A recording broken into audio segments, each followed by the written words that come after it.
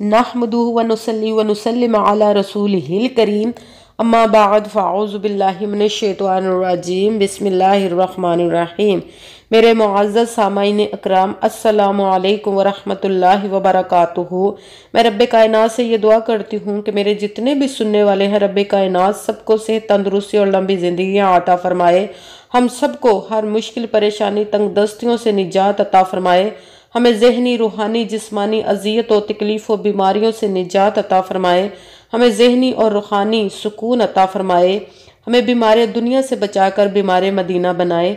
हमारे हक़ों में जो बेहतर है उसे फरमाए और जो हमारे हक़ों में बेहतर नहीं, उसका ख्याल भी हम सब के दिलों से निकाल दे और हमें अपनी रज़ा पर राज़ी रहने वाला बना दे। आमीन, सुम्मा आमीन।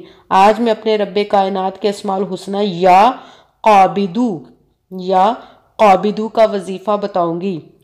अगर आपका कोई दुश्मन बहुत ताकतवर है, जिससे आपको अपने जानो माल का खतरा हो तो चाहिए कि इस इसम को तीन रातें मुसलसल आप वजीफ़ा करें तो आपको उस उस दुश्मन पर फतह हासिल होगी और आपका दुश्मन हार जाएगा और आपको आपका मकसद हासिल हो जाएगा।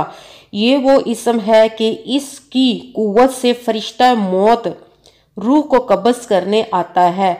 अगर कोई शख्स इसका विरद करे तो इसकी मुश्किलें आसान हो और कुत हैबत ज़्यादा हो।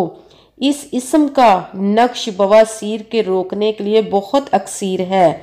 जो शख्स कारोबार के लेन देन में पैसों के लेन देन, तजारत के लिए करता हो कोई तो उसको चाहिए कि उस, जब वो काम कर रहा हो तो ये वो इसम का वजीफ़ा पढ़ता रहे तो वो कभी भी कोई नुकसान नहीं उठाएगा। सुबहान अल्लाह सुबहान अल्लाह हमें इन अपने इसमों की बरकतें लूटने की रब कायनात तफ़ीक अता फ़रमाए, हम कोई भी वजीफ़ा किसी भी मकसद के लिए करें तो रब कायनात हमारी ज़ुबानों में असर डाल दे। अपने प्यारे महबूब का सदका, अपने महबूब के घर का सदका हमें फैज़ अता फ़रमाए और हमारे एक लफ्ज़ अदा कर किए हुए को अपने कई लफ्ज़ों में उसे कबूल व मंजूर अता फ़रमाए और हमारे मकसदों में हमें कामयाबियाँ अता फ़रमाए। आमीन, सुम्मा आमीन। असलकम वरहमल वर्का